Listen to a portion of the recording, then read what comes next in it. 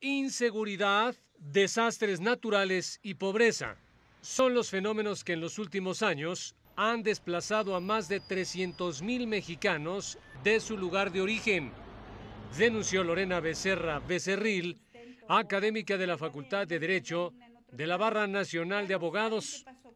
En el seminario Estudios de Derecho Agrario, Análisis de Desplazamientos Forzados en el ámbito rural, la especialista informó que Guerrero, Oaxaca, Sinaloa, Michoacán, Chiapas y Tamaulipas son los estados con mayor movilidad de personas por estos motivos.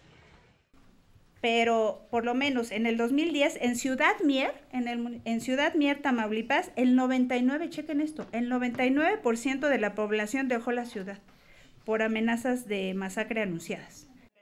En el Instituto de Investigaciones Jurídicas de la UNAM, Becerra Becerril dijo que en 2014, a nivel mundial, 13.9 millones de personas se habían desplazado, 42.600 personas que cada día cambian del lugar donde viven.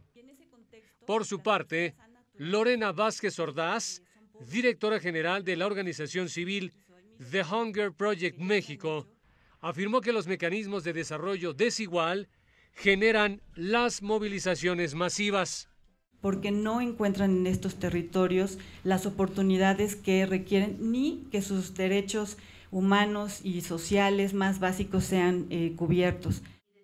Frente a estudiantes de Derecho, Vázquez Ordaz recordó que en México más de la mitad de la población vive en pobreza y 8 millones están en pobreza extrema. Canal Judicial, Oscar González.